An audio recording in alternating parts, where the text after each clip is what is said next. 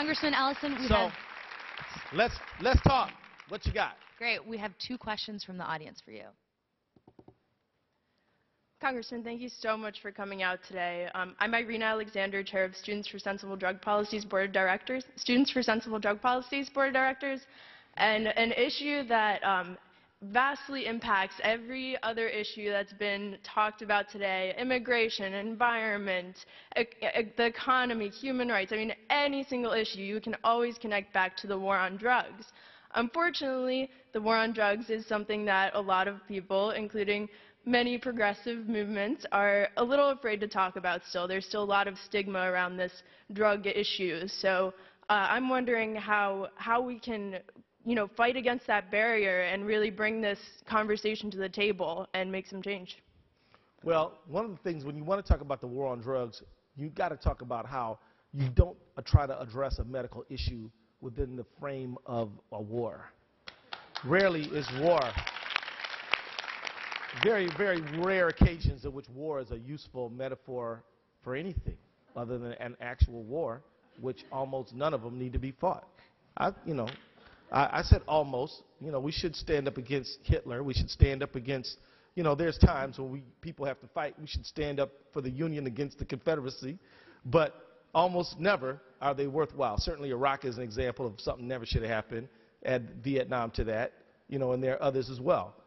So this war thing has got to be gotten away with. Look, people who are addicted to drugs are dealing with a medical issue. You cannot incarcerate your way out of a social and medical problem. And we tried to, we tried to, and we ended up having more young black men in prison than in college. And we ended up, and we ended up throwing away vast amounts of human potential. So look, we've got, you know, the Congress made some progress. We, we, it used to be that if you had one gram of, of, of uh, crack cocaine, you'd have to have 100 grams of powder cocaine in order to get the same sentence. Of course, people of color had the crack and whites had the powder, so there was this disproportionate incarceration rates. We lowered that to 18 to 1, which is progress, but it ain't equality. So, uh, and then all over the country, we got these felon disenfranchisement um, uh, laws that like make, it so that you can't vote uh, if you've had a felony or you can't vote till you're off paper. I mean, we need to have. I mean, there are two states where you never lose your right to vote: uh, Vermont and Maine. And, and and why should you lose your citizenship? You're still a citizen even if you have. Uh, and we also have to introduce some of those. Some of y'all who either whether you're a theist or non-theist, whether you're a person of faith or not, you know, we also should have this idea of redemption, you know, that you're not the worst thing that you ever did. People ought to be able to come back into society and be productive, right? So fight for this. Fight for this idea. Talk about the enormous expense. Talk about the moral implications of, of, of denying redemption. And, talk, and ask people why they're into this punitive thing where they just want to stick it to people forever and ever and ever. And, and, and so it's uh, tied to this idea of one America. It's tied to this idea that we're all in this thing together. So thank you for asking that. Keep up your battle. And uh, no, let me just stop my own. See, I make mistakes too. Keep up your struggle. and uh, count on me to help you with that. Thank you so much. Yes, ma'am. I'll answer more quickly so I don't uh, take up all the time. Good afternoon, Congressman. Thanks for being here. Yes, ma'am.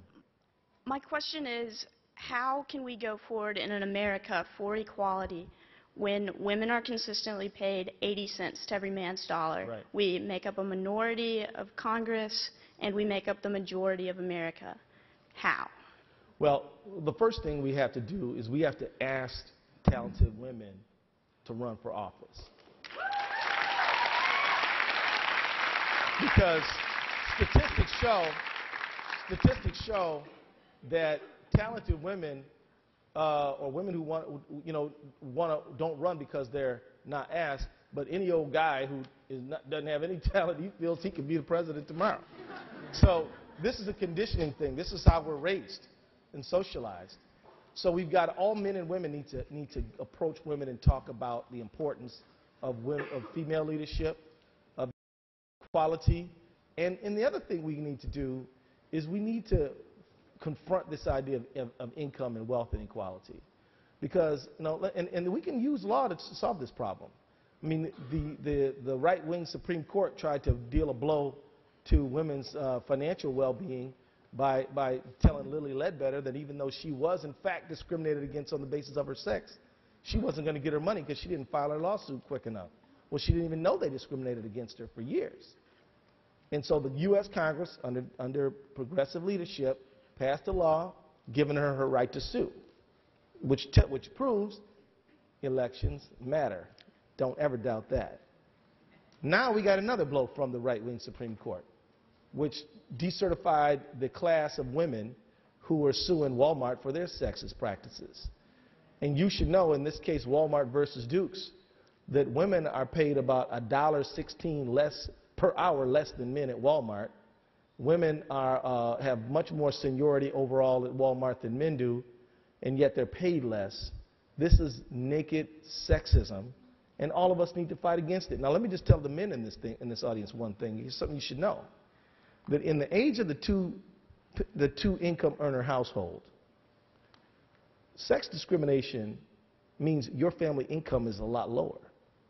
You understand that?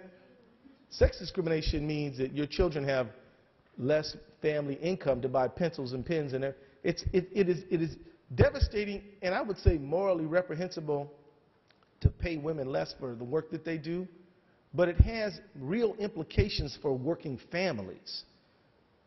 And so let's continue the battle. I recently hosted a forum in my district called Women's Rights in the Era of Extremism. And this is an era of extremism. These same people who want to shrink government till you can drown it in a bathtub also want uh, mom or to get back in the kitchen and take her shoes off and get pregnant. You understand? They, they are offended by a strong, powerful women. And here's the sad part some of them are women themselves. Michele Bachmann being an example. So, so let's stand up. Let's stand up for women's rights. And, and brothers, don't leave the sisters out there. We got to be in this thing together. Thank you very Thank much. you.